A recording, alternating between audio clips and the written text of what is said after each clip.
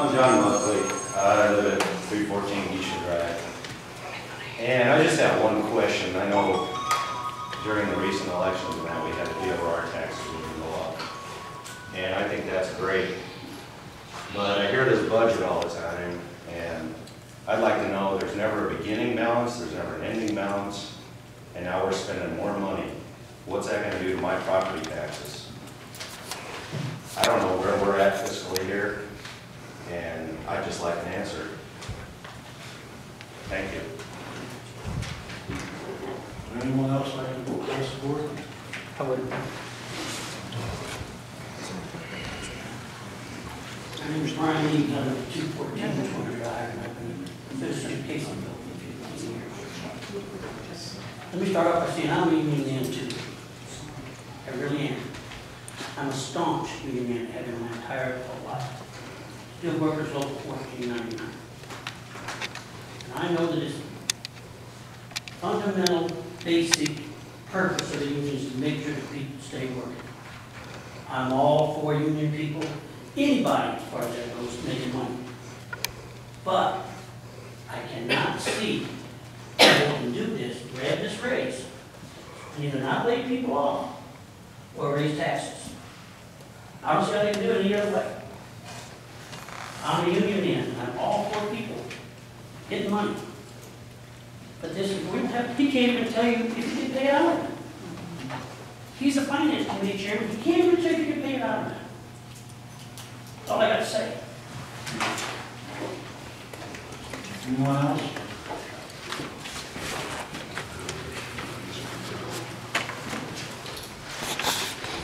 Hello, my name's Chuck Liz, I've lived here for almost 20 years. I- I'm kind of confused about the election results. We haven't really heard anything, and from what I understand, we're waiting on some absentee ballots to come in, and with those votes, change the outcome, the outcome of the election. No one has actually officially said anything, and I guess as group citizens, we just kind of like to know what the It comes from the courthouse, sir. You can call, call the county clerk. And April, April 23rd, they have to canvass and, and and declare basically all the votes. So that's when the county clerk would do that. April 23rd would be official results. All right, thank you. Anyone else? I have a question. My name is Debbie Blaylock, I live at 610 Hollywood Heights Road. These are, these raises that were approved and everything, the money's not there to pay it. Are these people going to lose their jobs and their benefits? I myself worked union 35 years also. In many years, we had to take a freeze in wages just so they wouldn't lay people off to cover our pay. So that's what I'm asking, are you prepared to lay people off if the money's not there? To me, you shouldn't be paying out raises until the finances are in the black. You can't just keep digging the hole deeper and deeper. So are you prepared to tell these people, well, okay, we have to give you a raise, but one person's gonna lose their job so that we can make budget. And the rest of you that have to take an extra street on your route or whatever, you're gonna have to pick up the slack, all because we approved this two and a half percent raise that we can't pay.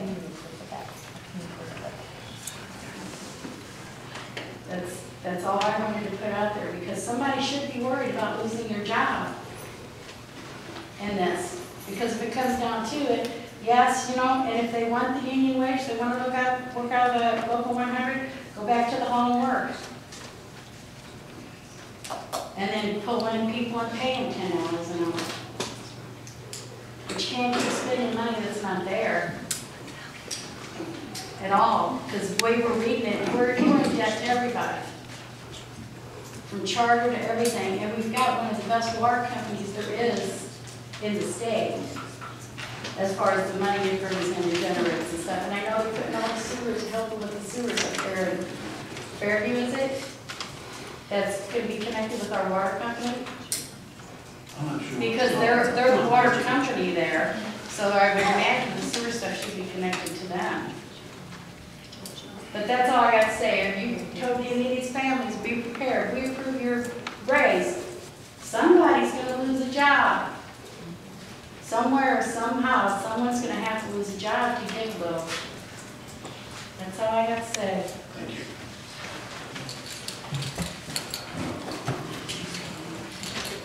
Hello, hi, my name is Christine Ledoux, and I live at 309 West Lincoln. And there's been some recent activity two doors down from my house, I'm not quite sure the address, but I'm sure everyone in the police department knows it. Excuse me. Go ahead, please. Anyway, um, I'm really concerned for my grandmother and my mother, we have lots of people come to our home, and it seems like we have some drug dealers in the neighborhood. I've stood, I've stood out of my front yard yard and blatantly watched them sell drugs. I mean, we're not stupid here, we know what's going on in the town, so definitely neighbors too. Across from us. On either the beginning of the month or on a Friday, it's car after car after car after car, it's like a drive-through. And it's frankly very frustrating. You call the police, yeah, they'll drive by, and they'll do something, but why can't we park a car out the- I mean, something, in the car that are, that I see sitting in the parking lots across from the, uh, from the, um, police station, maybe we can park one out in front of their house on a Friday afternoon, just leave it sitting there, I don't know. There's gotta be something else that we can do about this, because frankly, I'm seriously concerned that there's gonna be a drive-by shooting, or a gangbanger coming by, bullets flying, you know, police don't have names on them, you know, go. You know, I don't want to be having friends over and hear gunshots after the next thing. So that's one of my biggest concerns, so I just really expect more from Caseyville. Thank you. All right, anyone else like to address the board? Yeah, I'd like to follow the statement with Christine, uh, her neighbors, the ones right across the street. Oh, by the way, I'm Rick Pierce, I'm, the- I live at three fourteen West Lincoln. I want to second everything Christine is saying. I know a couple weeks ago, even about twelve thirty in the morning, this was there. The beginning of weekends of the month, it seems like when, uh, government checks come out, it, it's a drive-through service there at that. Uh, And I'm not condoning, we have a lot of nice homeowners around there. I I do know it's a rental house. But the other thing about this house is, um, it just seems like it's day and night, all the time, you know, cars coming in, coming out. I have some license plates. There's one vehicle from Missouri, it's there all the time. I saw a car load of of residents, I guess they are, get in it one morning, 60, you could tell they'd been out all night long or across the street. I don't know if this is coincident, but now I just looked across the street from us tonight, and now our neighbors next, Christina has her house for sale. So, you draw the picture. I mean, I think we need, we need more enforcement our police. I, you know, trusted this town, this police for a lot of years.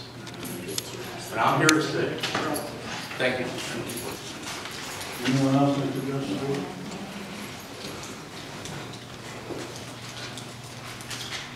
Not. Can I go next one, closed session? Yes, sir. Need a motion to go into closed session. Move that we make a motion to go into closed session. Second. All in favor, say aye. Thank you, officer. Thank you.